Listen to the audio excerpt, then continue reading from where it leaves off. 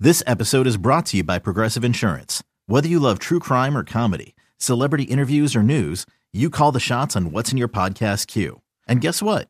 Now you can call them on your auto insurance too with the Name Your Price tool from Progressive. It works just the way it sounds. You tell Progressive how much you want to pay for car insurance, and they'll show you coverage options that fit your budget. Get your quote today at progressive.com to join the over 28 million drivers who trust Progressive. Progressive Casualty Insurance Company and Affiliates. Price and coverage match limited by state law. If you're a last minute gift shopper, then Instacart is your holiday rescue app this season. No more tracking packages, no more trips to the post office, and no more Christmas gifts arriving in February.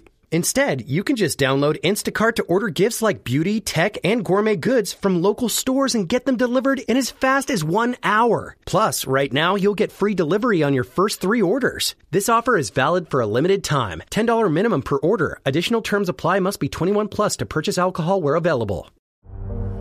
Saturday. Christmas comes early. Unbelievable!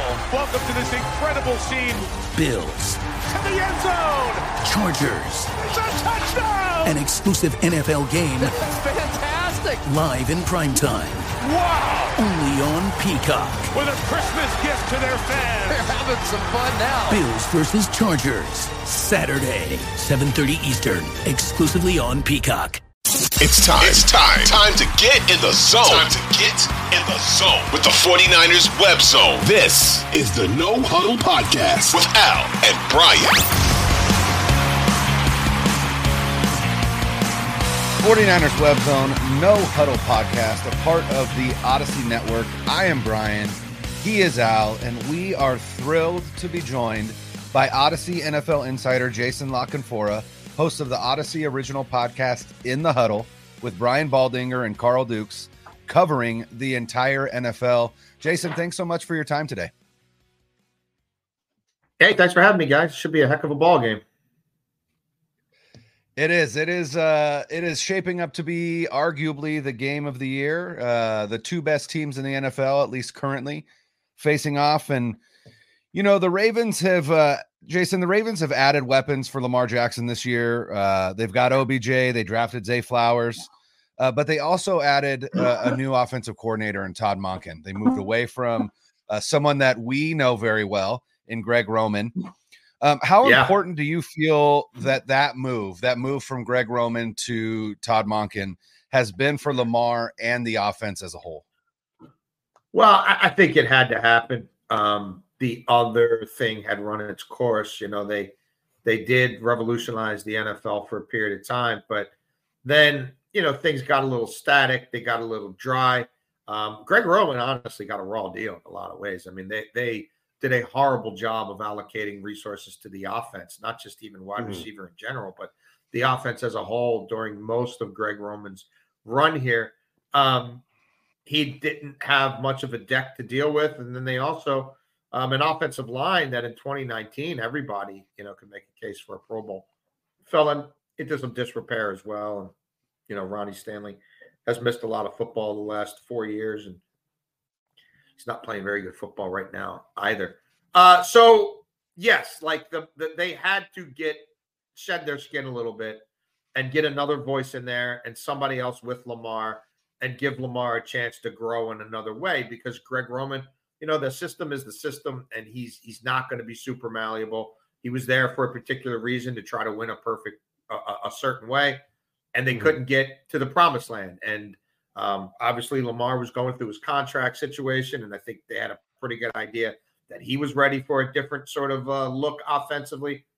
And so they finally, to your point, threw some money at the wide receiver position, kept using key draft capital on the wide receiver position, even though it hasn't borne much fruit for them for the totality of their franchise's existence. Uh, and it's a different thing, and it's a it's a more interesting thing from a passing standpoint.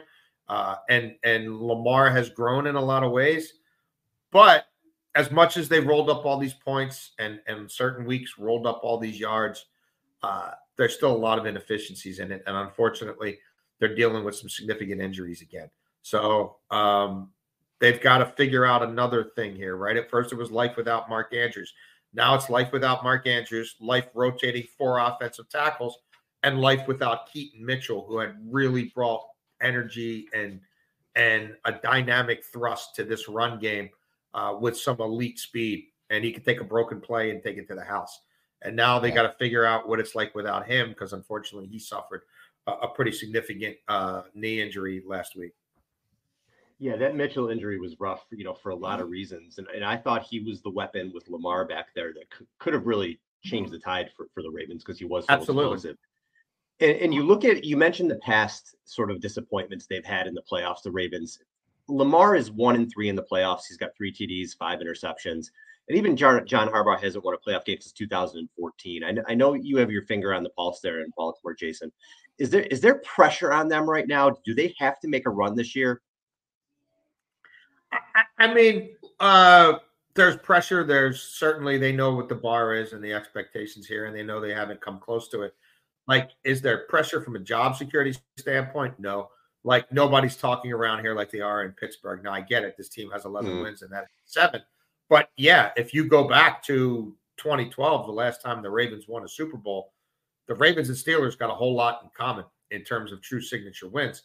And I don't think either coach should be in trouble. And I don't think either is. But the one here, no. I mean, as long as Steve Bisciotti owns this team, no, like Eric DeCosta's good, uh, John Harbaugh's good. Now I think Steve Bisciotti's. I mean, two years from now, three years from now, is he still owning this team? I don't think so. Um, mm-hmm. But uh, yeah, I, I, there's really none of that. I mean, other than there, you know, the pressure that always exists, which is, you know, you've won Super Bowls around here before. You you you got it done with the quarterback. Um, it's time to start creating some deep playoff runs. That's been the objective for a while. Uh, but I mean, look, like both their coordinators are probably going to interview for head coaching jobs. Lamar's a finalist, you know, is going to end up being one of the top vote getters for MVP. Um, you know, uh, they, they've got holes on their roster. They've got things they need to address. But all in all, as an organization, I think they're in a pretty good place. Yeah. And, you know, the 49ers made a pretty big trade midseason last year in 2022. They brought uh, a guy named Christian McCaffrey uh, mm-hmm. over to to the team from from the Carolina Panthers. But the Ravens made a, a, big trade of their own when they when they went and got Roquan Smith from the Chicago Bears. How much of a difference has he made to this Ravens defense? Because they've given up the least amount of points in the league. Is is he kind of the linchpin for Macdonald's scheme, or uh, is it just kind of uh, right place, right time? No, he's he's got a lot to do with it. His arrival definitely uh, coincided with the ascent of this defense. Uh, it, it really, you know, it, it's allowed them to be a two linebacker defense than a three. You know, before they were trying to figure out what is Patrick Queen, you know, and they also drafted Malik Harrison in that draft, like in the third round, a pretty high pick. And, you know, mm-hmm. I think the thinking was, well, Bowser will be, um, you know, a strong side guy and Malik will be the middle linebacker because they lost CJ Mosley a few years before the free agency of the Jets. And, you know, maybe Queen is uh, the will, or we'll sort that stuff out. And then, really, I mean, Bowser hasn't played much football the last two years. Patrick Queen didn't really ascend until they got Roquan Smith, who's brought out the best in Patrick Queen. And at the same mm-hmm. time, they're they're gathering all these defensive backs, and how do we get them on the field? Well, it's great. Now we only need two linebackers on the field to do a better job than three we're doing, and so that's where Kyle Hamilton steps in. And um, until Marcus uh, Williams got hurt, these guys were about 85% of the time that they, they would have 75 to 80% of the time. Uh, the last three, four weeks, they'd have three safeties on the field. I mean, that was their base. So now they've got to recalibrate that a little bit. But yes, it gives them tremendous flexibility. Um, it, it, he's been a perfect, he settled everybody down. He's been the, the perfect central nervous system, the perfect interconnective tissue between the D line and the and the back end, uh, leadership, intangibles, all that, everything, all the pieces fit into place. He's a force multiplier. Now on his own, you know, outside of some games with tackles, he's not going to light up the box score. He's mm-hmm. not going to, you know, he's not going to have five tackles for loss. He's not going to have sacks. He's not going to have a ton of passes defensed. Um, so it's not really, it's not going to show up like that. But if you watch this team play, and you saw them play before he got here. Uh, he really has has been the glue, um, and and they play in his like he's a he's a tone setter. Um, his physicality, his early game approach, uh, and certainly they're you know they, they've they've ascended across the board. They're still not great defending the run, um, not nearly as good as they were a year ago, mm-hmm. uh, and they're not perfect, and they haven't faced a team like this offensively, especially not on the road, like not even close. So yeah. we'll learn a lot about both of these units, right? Because the 49ers, as great as they are, um, they haven't seen a defense quite like this. They haven't seen an opponent quite like this. Yeah, and that leads me to my next question, Jason. So when we're talking this year about, you know, the Niners are good and it looks like they're going to make a deep playoff run, who worries you? And a lot of people said Philly, Philly. For me, I keep, I keep telling Brian the, the Ravens scare the hell out of me just because they, like you said, they have such a good defense. They have Lamar when you look at this game, you mentioned the Niners offense. What kind of challenges do you think Shanahan and his system posed to Mike Macdonald and the Ravens D? Oh, um, plenty. Uh, these guys have struggled. Again, inside runs have been a problem for them. Draws, delayed handoffs. Um, teams that are a little creative attacking the A gap has given them problems. I'm sure the 49ers have watched plenty of the film from when the, the Ravens were out in Arizona and Conner mm. was out at the time and Demercado had had some fun at their expense. Uh, even teams that don't run the ball that well, Cincinnati ran the ball pretty well on the Ravens. Uh, and then if you the outside runs are a problem as well. Um, and if you drill down on the Ravens against pitch plays, they allow 6.1 yards per play, 28th in the NFL. And as we know, San Francisco is doing a whole lot of that stuff, and they average 5.8 per carry when they pitch it out there, whether it's Deebo or, or McCaffrey or whatever. Uh, the Ravens have not been, even with Roquan Smith helping them in coverage, they haven't been awesome defending running backs, especially in the red zone. And I think they're like 27th in the league in completion percentage to running backs. Uh, I think they're going to be uh, there's going to be a lot of torque, and they're going to be sort of going to be pulled in a lot of different directions here in terms of of what they focus on and who they key on. Uh, and then in the back end, um, Marlon Humphrey's not having a great season. Marlon Humphrey hasn't been that healthy, uh, and Sean McVay and Matt Stafford threw it Marlon Humphrey mercilessly in the fourth quarter of that game in Baltimore two weeks ago. And I I'm sure that you know, uh, Kyle has spent plenty of time looking at that. Now, the Jags, that game was kind of weird. You know, we come to find out Lawrence was concussed in the second half of that game. Uh, mm. They don't have the passing game that the Rams have or the 49ers have. But Marlon Humphrey really should be a slot corner at this stage. But I don't think he's going to be playing in the slot here. And, and, uh, he, he's he's had difficulties in coverage to say the least.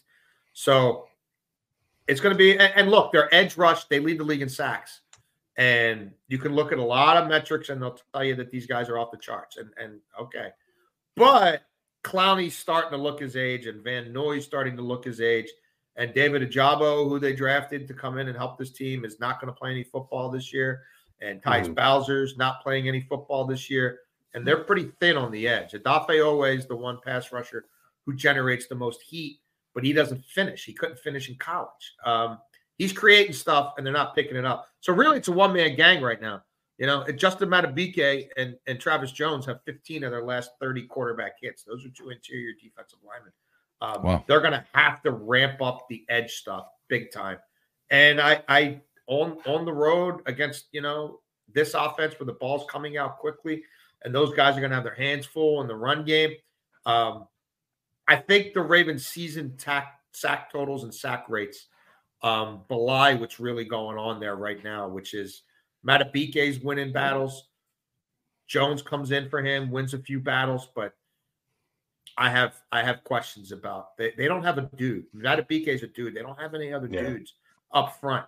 Um, and when they play better teams and we get deeper into the season and Clowney's legs start to go a little bit and Van Noy's legs start to go a little bit, there's not a whole lot of there there.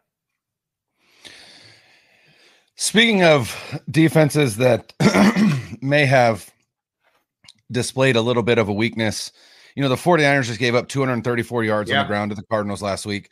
The Cardinals are a good running team, uh, but they were also missing Javon Hargrave and Arik Armstead. Uh, prior to that, San Francisco had the number one rush defense, but you could also argue that the way that they've been playing this season, with the amount of uh, second half leads that and and and the size of those leads yeah. that they've gotten, teams are having to abandon the run to to to pass to catch up. The Cardinals didn't abandon the run, uh, even though they were down multiple scores, and you know again scored or racked up 234 yards. Um, do you feel like this San Francisco rush defense is not as good as the numbers belie simply because of that? And do you think that's something that the Ravens are going to either A, look to exploit or B, be able to exploit, even with Keaton Mitchell uh, now out of the game? Whether it is or not, I don't care. They, they better run the ball 40 times if, if they want to stay in this football game and they want to keep the, their quarterback um, from suffering another December injury. Uh, they they have the second half of the Jacksonville game is who they have to be, especially in this game. Um, and they ran 30 times for over 200 yards in this just in the second half. I don't know that it'll be that robust and bountiful against this defense, but they need to find out. They need to stick with it. Um, you know, Todd Monken likes to get cute on first down and a lot of play action, deep shots. Most of them don't get completed because they're not a downfield passing game. But like, no, that needs to be if you're throwing on first down, it better be an RPO and the ball better be coming out quickly. Um, again, they're rotating their tackles. They, they, they, I mean, it's this is what it is. I mean, they're paying Ronnie Stanley 20 million bucks and he's spending a quarter of the snaps on the sidelines while Patrick Mekari plays in his spot. And Morgan wow. Moses is done. And they're they're alternating him with a kid, a project, Daniel Faalele, a six eight kid who is just kind of figuring it all out. But like they don't trust these guys. They just don't. It's just it, and they should. Um, yeah. And against this group, forget about it. So uh, they have to be committed to running the football. And Lamar will put on a show and he'll run 15 times or more and he'll probably butt up against 100 yards. And, you know, Gus Edwards will, will have to run the ball 12 or 15 times. I don't care if it's 2 7 a carry, they're going to have to stick with that mm-hmm. um, for a bunch of reasons, including the fact I just told you their edge rushers are old and they're starting to look old. And that defense – isn't built to be on the field all that long. Um, they need to get back to being a big time of possession team. And yeah, losing Keaton Mitchell, the home run hitter, hurts. Justice Hill's a capable back. He's he's the, the next guy up in terms of that Mr. Outside, the guy who can gain the edge and, and do some things out there. Gus is Mr. Inside. Uh, there, has got to be a role for for all of them. Um, that's that's how they're if they're going to go deep in the playoffs. That that's how they're going to do it. You know, it's not going to be because Odell Beckham's catching, you know, eight balls for 100 yards every week. It's right. not going to be because Isaiah Likely is as good as he's looked is doing what Mark Andrews can do.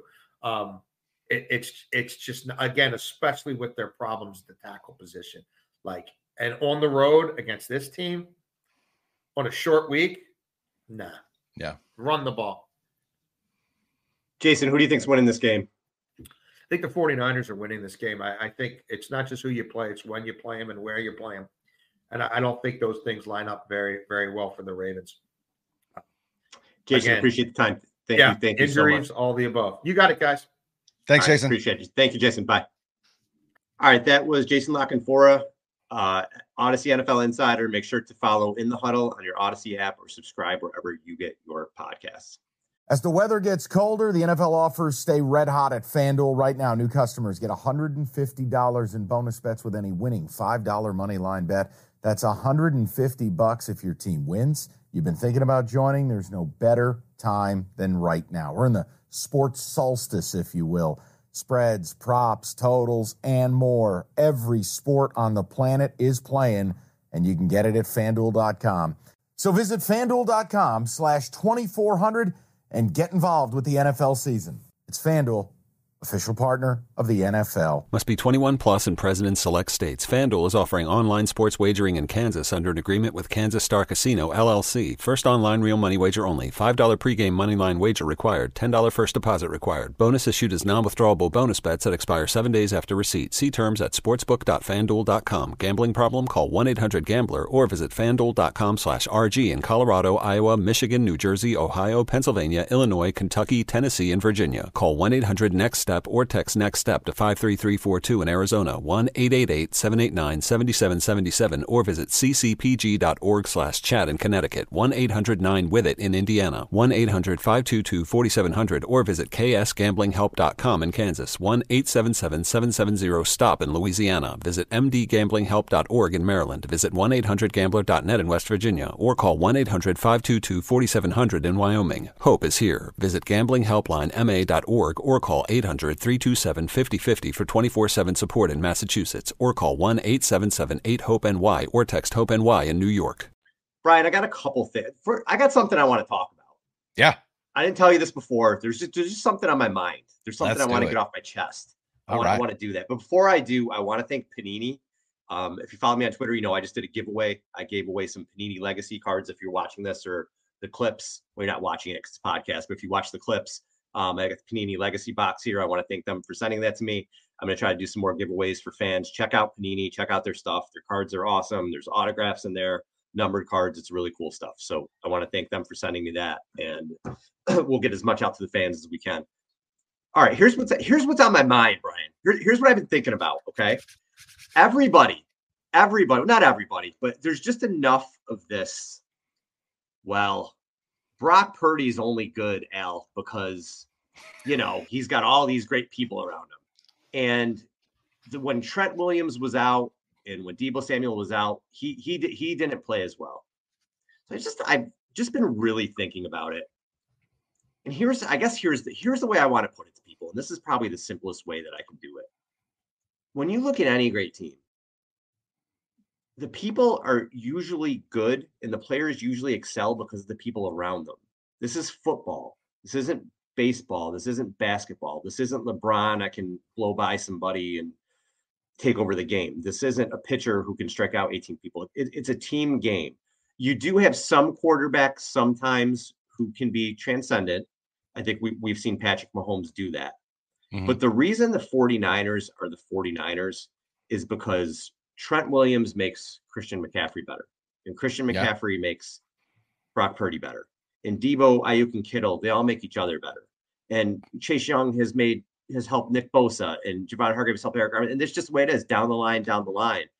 And when you look at even McCaffrey, McCaffrey is having an all-time season. Yeah. Not only for the 49ers, but for the NFL. This guy is going to maybe have 2,100, 2,200 all-purpose yards. He's going to lead the league in rushing. He might score the way up Kyle uses him. What's he got? 20 total TDs right now? What's he going to Yeah. score? 20, 25 this year? I mean, he's having an all-time season. You can make the argument, though, Brian. Part of the reason McCaffrey's having an all-time season is because he's on the 49ers. Yeah. because he's Yeah. got all these great players around him. Because he's with Kyle Shanahan. And no shade on McCaffrey, who I I, I will sit and talk for hours about how good I think Christian McCaffrey is. But in that three-game stretch where the Niners struggled, 11 carries for 43 yards, 15 carries for 45 yards, 12 for 54. He struggled too during that time. In the game Yes. before that against Dallas, he only had 51 yards on 19 carries, and that was a game where they threw the ball better. So I'm tired of like people just they want to have the hot take. They they don't want to give people credit. Football is a team game. Yes, the 49ers have a lot of good players who are having amazing seasons. They may have four 1,000 yard scrimmage people and a 4,000 yard passer this year, which hasn't been done, I think, since the Colts in 2004. So when the Colts in 2004, they had Harrison and Stokley and Wayne and Edgerrin James and Peyton Manning. And Dallas Clark. They all made each other better because they were great. And it's the same thing with the Niners. Like, stop nitpicking this. If McCaffrey wins the MVP, great. If Purdy wins the MVP, great. You know what? They're both deserving, but they're on a great team. And usually, who people win the MVP, they're on a great team. It just is what it is. So I'm tired of the nitpicking. I'm tired of whatever. The Niners have all these guys and just deal with it. They're going to make each other better. And as long as they're all on the field together and healthy, they're going to be really, really tough to deal with. Well, and and and here's the thing, right? Like we talk about Christian McCaffrey, and Christian McCaffrey has been great, and he, like Brock Purdy, is you could say significantly better than I'm not going to say Brock Purdy has been significantly better than Dak because they're pretty they're fairly similar. But Chris McCaffrey has been significantly better than than the next closest in in rushing, which is I believe Raheem Mostert. I believe is is number two, right? Running in the same system that Christian McCaffrey mm-hmm. is. but if you go back to 2019, right? The the the year that the 49ers went to the Super Bowl, they didn't have a Christian McCaffrey, but they still had a running game that was dominant to the point of 2,305 yards on the ground and 23 touchdowns. Like, it, it, it's not like it's not like Christian McCaffrey has all of a sudden given the 49ers a running game. They already had a running game. What Christian McCaffrey has given the 49ers is an even deadlier passing attack, which bodes well for Brock Purdy. And I was looking at this the other day. I thought it was interesting.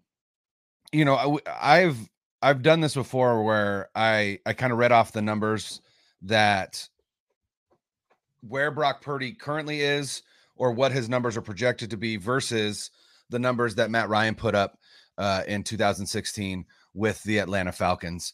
And those numbers are very, very, very, very similar. Um, in terms of yards, touchdowns. Um, the the only two areas where where Ryan would have an advantage is in total yards or passing yards by mm-hmm. I think again through projections right now. Um, through I, I believe by 200 yards and I think three more touchdowns, 38 to 35. Again, these are projected. Um, but if you look at uh, if you look at Matt Ryan's season or the Falcons in general that season, the Falcons were averaging 33.8 points per game. And and San Francisco is currently averaging 30.4. So they were averaging three points more per game. But Atlanta allowed 25 points per game that year. And S and San Francisco is currently allowing only 16.7. So the difference between Matt Ryan and Brock Purdy is Brock Purdy has been sitting fourth quarters multiple games this season. And Matt Ryan never did because they weren't blowing teams out like this team is, right? They didn't have the defense that this 49ers team does. So all these numbers, right? The 4 4,944 yards for uh for Matt Ryan. Again, Purdy's projected. This is again just based on the number of yards he's thrown so far through 14 games. And then so you take that average and then you multiply that by 17 game season and you get his projection and he's projected it's uh 4646 so 300 yards less right um 300 yards less with one more game which seems you know n- to imply that it's not nearly as good but again brock purdy has sat fourth quarter significantly more than matt ryan ever did uh and then 38 touchdowns to 35 touchdowns um but the touchdown percentage is the same 7% um Brock Purdy is on pace for uh, two more interceptions than than Matt Ryan had, but his success rate is better. His yards per attempt are better. His um, QBR and his rating uh, are or his rating is is uh, almost similar, uh, almost exactly the same. So Matt Ryan was one seventeen point one. I was gonna say it's one seventeen. I thought, yeah. Brock Purdy is one sixteen point nine um, yep. currently. Again, that's current. I can't I can't project what that will be moving forward. Isn't isn't Purdy 119 now. Didn't that go up? Am I wrong? It may have gone up. I this was an um the numbers I was pulling are I think a, a couple weeks old. So I th- actually do think you're right. I think he's at 119 now, which would be higher. But yeah, the thing that I thought was interesting is Matt Ryan accomplished all of that on 537 attempts. Brock Purdy is on pace through 17 games for 466. So almost a hundred less attempts to to produce the same level of efficiency that Matt Ryan did. And to me, that's incredible. And that just again points to the historic, the historically significant efficiency that Brock Purdy is operating under. Mm. And you know, you look at you look at the league and you say it, it's been a down year. You know, Jimmy Garoppolo in 2019, if you look at just the raw stats, looked very similar, right? More interceptions, less touchdowns, same amount of yards, right? And and as a team, they were scoring 30 points per game in 2019. But also 2019 Lamar Jackson existed, right? So that's why Jimmy Garoppolo was never even in the conversation for MVP because mm-hmm. Lamar Jackson was a was Superman in 2019. So it just wasn't even worthy of a conversation. There hasn't been a Superman this season, even if you even if you want to include Tyreek Hill or or Christian McCaffrey. So to me, it, again, it's all about context. We're talking about 2023, right? When we talk about MVP, we're talking about just this season. And I, I just don't think you can point to anyone who has performed at the quarterback position better than Brock Purdy. And as Peter King, we talked to Peter King, and he said, right, the last 10 years, that award has gone to the quarterback of the one or two seed from either conference. Mm-hmm. Currently, again, as it stay as it sits, that's Purdy, Dak, Lamar Jackson, and uh, Tua Tagovailoa. And of those four, I, I don't know that anybody has uh, really any case above Brock Purdy. Yeah, and it's just we've gone over it so many times. He, he's he's not thrown for 240 yards and one touchdown. He's right. doing things we haven't seen before. Right. He's having an elite season, a memorable season. Just enjoy it, man. Just just yeah. enjoy it. All right, Brian. Looking at this game, so I'm I'm a little bit surprised in the sense you, anybody who who knows me knows I've been like the Ravens scare the hell out of me. Mm-hmm. They they just do. They're the team that mm-hmm. probably scares me. I just feel like they present problems to the Niners. Now, without Mark Andrews, without Keaton Mitchell, I'm a little less afraid on the offensive side. And the Keaton Mitchell injury to me, some people may not even know who he is. Yeah. I thought he changed everything for the Ravens because he was a home run threat out of the backfield. And when you get Lamar Jackson back there and you have somebody like him, it just one play can change the game. And when right. he went out, I, I said, oh, that that could be the injury. That's huge. As much yeah. as you wouldn't have thought it three months ago, that could be the injury, even more than Mark Andrews, that what that might derail them. Because Isaiah Likely, he's not Mark Andrews, but he's done a good job. Mm-hmm. Was on with Cordell Woodland today, who's um he's got a Ravens podcast and he he is on 1057 The Fan out in Baltimore, covers the Ravens. You know, he's in the locker room. Mm-hmm. And we talked today and I was a little surprised, same as with Jason. They, they're talking about some some holes in this team. Yeah. And one of the things that he brought up, and the same thing Jason were, were, were the tackles. Ronnie Stanley is not healthy. Ronnie Stanley's been getting pushed back. He's not having a great season, and they're having issues on the other side as well. So, so the Niners can absolutely take advantage there. Where I'm worried, Brian, because you brought it up earlier, if Arik Armstead and Javon Hargrave don't play, all bets are off here to me because you yeah. saw the you saw the Cardinals be able to run the ball on the Niners. What was it, 224 they ran or Two, whatever it was, 220 plus, 264. Yeah. So that's it's a lot of yards, and, and, they look like they were getting yards when they needed to. And we've seen the Niners struggle to defend the run at other times. I'm nervous as hell with that. That if, if Armstead and Hargrave are there, I feel great. Mm-hmm. If they're there and healthy play. If they're not, I'm a little bit worried. Yeah. But, but we'll see. On the edges, the Niners may be okay. We'll we'll see up the middle. Yeah, and then not only that, but Kalia Davis went on IR. Um, and so you've lost yeah, another point, body. Yeah. yeah, you lost yep. another body there. Uh, they signed a guy today. Again, not a not a name. Uh, somebody asked Kyle Shanahan earlier this week about Ndamukong Suh, mm-hmm. um, mm-hmm. and he essentially said like we're not there yet. Um, I would be interested to see if if maybe they look to bring him in. I know that he just visited with the Dolphins. Uh, I think yesterday it was either yesterday or today. Um, so he is starting to get a little traction. Uh, mm-hmm. You know, he he's in that part of his career where he's going to sit out the majority of a season and then try and catch on with some, you know, some uh contender. Uh, which yeah, by the way, yeah. why hasn't Zach Ertz signed anywhere yet? That seems weird. But I forgot about him. Yeah. I forgot that he was even out there. Yeah, because the yeah. Niners were were sort of rumored there. Yeah, and that's why I'm like, that's weird. Like, why hasn't he signed with anybody yet? That was interesting. Maybe he's not healthy. I don't know.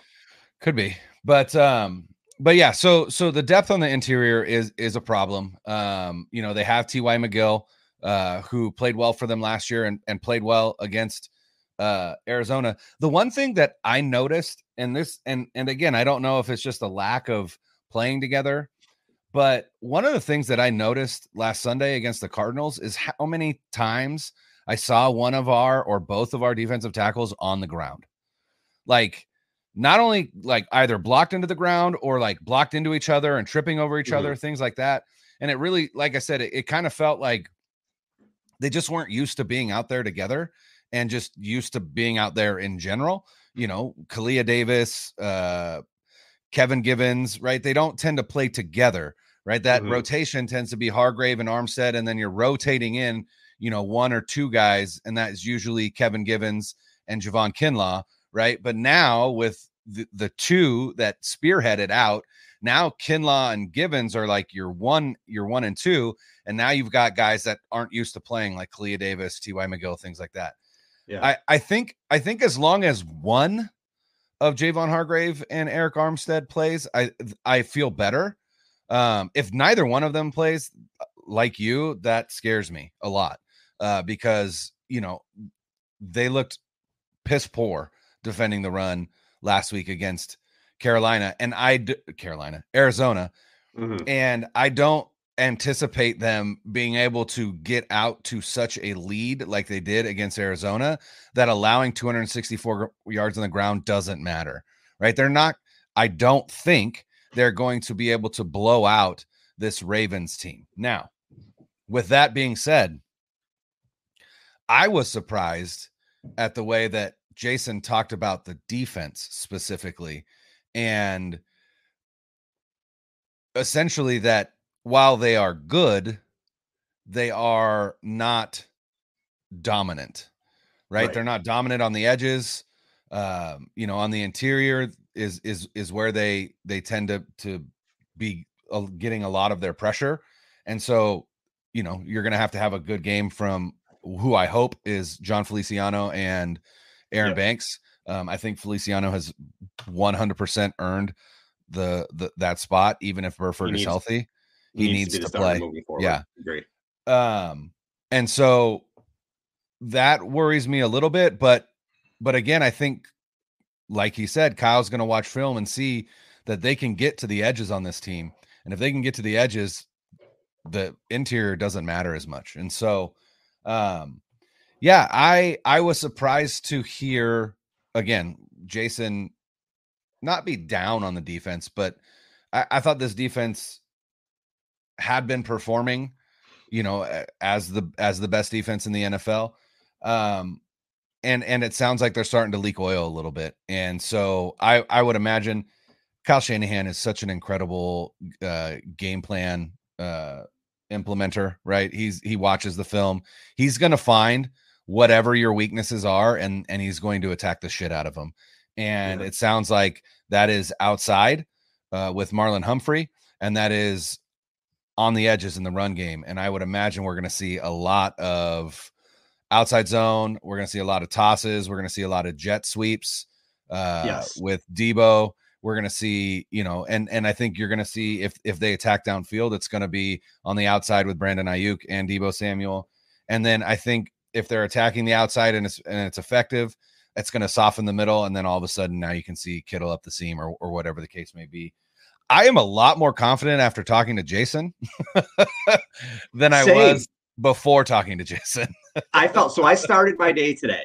Al Sacco wakes up in the morning, and I, like I said, I went on a Ravens podcast. Yeah. We, we talked with Ryan Hensley today, mm-hmm. and then we had Jason on. And I woke up today. I feel better now than I did when I woke up because the Ravens people I've talked to there's a hint of, eh, you know, we're a good team, but there's some ways you can attack us.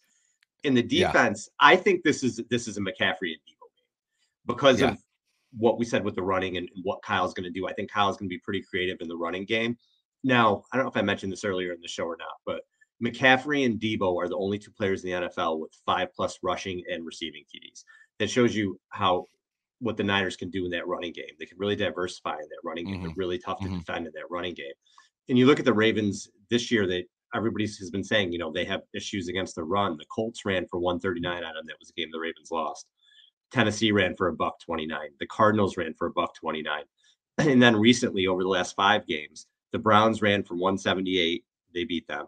The Bengals ran for 136. And the Rams who put up 31 points on, on the Ravens, ran for 128. That first drive against them, they when the Rams came out, they ran basically that whole drive to get up. Yeah. So unless, unless something fluky happens where the Niners get down 14 points or something like that, I think it's McCaffrey.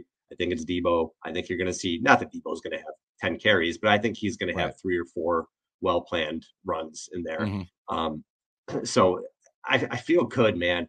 And it's hard yeah. right now for me. This team to me, Brian, there's just 94 vibes to me yeah. with this team. So in the sense that I don't they don't have a they don't have a team they need to get over. Like the 94 team had to get over the Cowboys. The Niners just have to get over the hump of getting over the hump, right? Mm-hmm. Like they need to get, they need to finish. They need to get a ring for this core. And I think they understand that. And it just feels that way for me this year. Like they just they're just they're kicking the shit out of people. Other than that three game stretch, which whatever, it happens to all teams throughout a season. Yeah. They're kicking the shit out of people. yes. They seem like they have a purpose. And this is going to be, I think this could be a Super Bowl preview. I think this is a lot of ways the toughest game they played this year. I'm really interested to see how it pans out. Now, if they lose, am I going to go crazy? No, because again, this we've seen this team have a rough yeah. stretch and bounce back because they're so talented. But I feel like they're going to win the game, and I feel like this is just you know again, God willingly, barring injury, eh, this is going to be a tough team to beat the rest of the season. As as Johnny Cash was wont to say, God willing, and the creek don't rise. Right, like as long as there's no injuries yeah. or anything like no that, tragedies. um, yeah, that's uh, this team when healthy. I I just even the Ravens at at the at the same record of of 11 and 3 i just don't think they're anywhere near the caliber of this 49ers team regardless of what their records say and i i agree with you you know what i would love to see i would what i would love to see is if the 49ers do win the super bowl uh, which is being played in las vegas uh, this this year it comes back to by the way it comes back to santa clara in 2026 i think 2027, something fairly soon. It's coming back to Santa Clara, which is fun. Four of the next, I think it's four of the next five Super Bowls are essentially in the Western uh, Western time zone. But I would love to see just as a nod to Steve Young and that 94 team. I just want to see someone take that monkey off of Kyle Shanahan's back, right? Mm. It's not the quarterback this time, it's the coach. It's the head coach. That's a great, someone, great point someone needs to take that monkey off his back if they win that thing. I would love to see. Dude, it. Dude, that's such a great storyline. When you look at yeah. what Kyle's kind of been through. So he has the not not that he was the head coach for the Falcons Super Bowl, but right. he was the offensive coordinator, and there were some play calls that maybe should have been different there. And mm-hmm. he said, I remember reading an article where he said he walked in, it might have been a hotel room and saw his family just like collapsed. Like that's how much it took out of him. You know what I mean? Yeah. he just broke down. And then he's the coordinator. Imagine what these Niners losses have taken out of him. Mm-hmm. You have the mm-hmm. Super Bowl that you're up by 10 in the fourth. Yeah. It looks like you might be able to finish it out. And then what happened there happened there. You have these NFC championship losses that have been, you know, whatever happened against the Rams, you, we have a drop yeah. pick. Um, and then last season you don't even get to compete because your right. quarterback gets hurt. That's a great that's the story right there. If Kyle gets back, get the monkey off his back because what's yep. going we talk about Steve Young. Mm-hmm. Steve Young was going to be an he was an elite quarterback, but he yes. goes to legendary quarterback with the Super Bowl, right? You mm-hmm. have the championship. Mm-hmm. Kyle is going to go from you know great head coach to legendary. Great, yeah. yeah, exactly. If he once he gets a championship, you're talking Hall of Fame head coach for Kyle Shanahan. You are, you yeah. are. He's going to have ten plus years here. He's already got a Super Bowl appearance in three NFC title title games. Mm-hmm. If he wins a title, you're talking a Hall of Fame coach. Yeah, that's how much is on the line for him. So that's a great yeah. point, man. I, th- I think that has to that has to be talked about a little more than it has been. Yeah, and also uh, if if you haven't eh, or anybody listening, um, Robert Mays of the Athletic Football Show on their uh, week four, we just did week fourteen, right? Week fourteen recap. Um, he has about a five minute like rant on not rant because it was positive, but about Kyle Shanahan and just how mm-hmm. we are not talking enough about how goddamn incredible this guy is as an offensive innovator, a play caller, uh, a team builder, like all of it. We don't talk about it because we talk about 28 to 3. We talk about yeah you know, the fourth quarter against the Chiefs. We talk about the NFC Championship game against the Rams. We don't really talk about last year's NFC Championship game. There wasn't anything that they could do. No. Um, yeah. But we talk about those things rather than really recognizing just what it is that this guy has done. I mean, look, he has taken the last pick in the draft and has crafted a historically efficient offense with him. Like Yeah. that it we don't talk about it because I think we're just spoiled with how, with how good Kyle Shanahan is is like we don't even recognize it. But you know, he basically said like once once he wins that championship, then he starts to get talked about in the same breath as Belichick and Reid Reid, yep. and Walsh and you know the guys that the guys that we look to and go those are those are the guys that we point to on the Mount Rushmore of NFL head coaches and he's going to have an argument. And let's be perfectly honest. If they win a Super Bowl this year, they will be the favorites to win the Super Bowl next year. Absolutely. And if Brock Purdy is who he appears to be, right? And we won't know that until he gets another contract. We talked about that a little bit with with Ryan earlier today. You know, what is it going to look like? You know, are they going to have to give him a 50 million dollar contract? I posited that Brock Purdy strikes me as the kind of guy that might not try and break the bank, you know, in order to continue to compete because to me, Brock Purdy seems to eat, sleep, and breathe football. Like he just seems like a football guy, right? Like, you know, like we said, he's he's shopping with Cole's cash. Like he he has no he he has no care about his persona, his image, whatever. What he cares about is playing winning football. And so there's a part of me that wonders like, is he? I mean, he'll get broken off. I'm not saying that he won't, but Mhm. is he going to get broken off like Jimmy Garoppolo got broke off, or is he going to get broken off like Patrick Mahomes and Lamar Jackson and Justin Herbert and Joe Burrow and you know, basically again, whoever signs next is the biggest contract in NFL history type stuff. But if Kyle Shanahan wins multiple Super Bowls, especially with San Francisco, I mean, it's th- th- at that point you're going, he's top five. Like you, you he's top five. it just with his offensive innovation, you know, his uh his his team building, and that's the other thing. He's an offensive minded head coach who sinks a shitload of resources onto the defensive side of the football Yeah. and a lot of offensive like i was listening to uh it might have it, i i do this, this might hurt your feelings. I think i was i was listening to dual threat which is one of the ringer.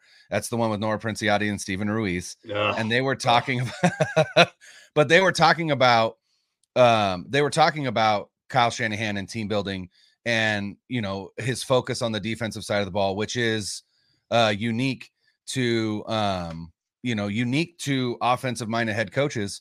And they gave a, a- an anecdote about um let me back up. It was either it was either dual threat with Steven Ruiz and Nora Princiotti, or it was Candlestick Chronicles with Chris Biderman and Kyle Madson. Those were the two that I listened to today. I can't remember now which one, but there was an anecdote about how Mike Martz, like Mike Martz, didn't even ever want to draft a defensive player, right? Mike Martz just only wanted Right. like wide receivers and and skill position players, right? Because that's that was his side of the ball. And so I, I just think he's a unique, he's a unique coach in the NFL now.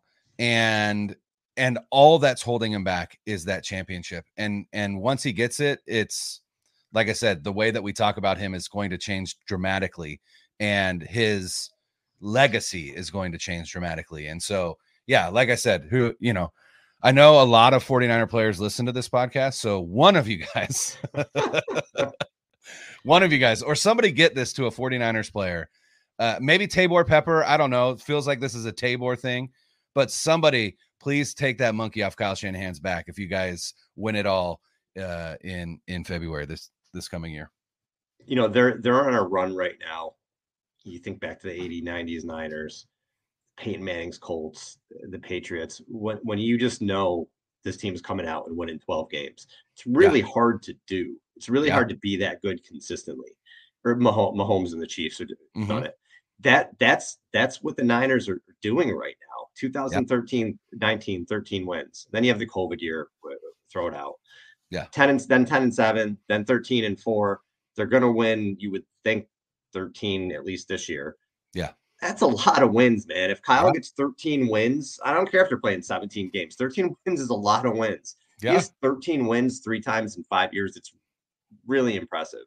It's wild. Yeah, he gets yeah. the Super Bowl and then you know he goes to the next stratosphere. So fingers crossed. Um, you, you know, it's just it's a good time to be a Niners fan. You just hope the football gods are actually with them this year, as opposed to against them like they have been recently, and we'll we'll see what happens. But Christmas night, Niners Ravens. I'm going to be really intoxicated by the time the game is on. I, cannot wait. I cannot wait. My wife's going to be throwing me dirty looks, and she's I don't even care. It's not even going to matter at that point. Watching the game, I, I, I can't wait yeah i'm i'm excited you know my, my, wife and i when it comes to gift giving we just essentially like send each other here's what i would like you to buy me and wrap and then i'll unwrap it but this is this is what i want.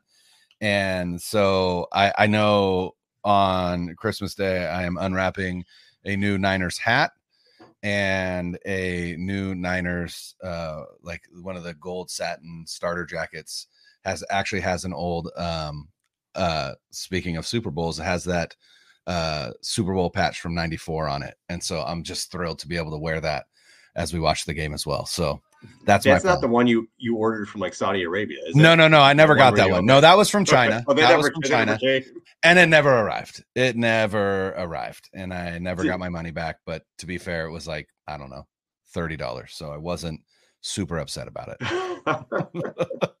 yeah, you got to watch those websites too. Yeah, yeah, I've learned my lesson. That's for sure. All right, guys. We appreciate you. Thanks for listening. For Brian, I'm Al. Merry Christmas. Merry Christmas, you filthy animals. Let us three. One, two, three.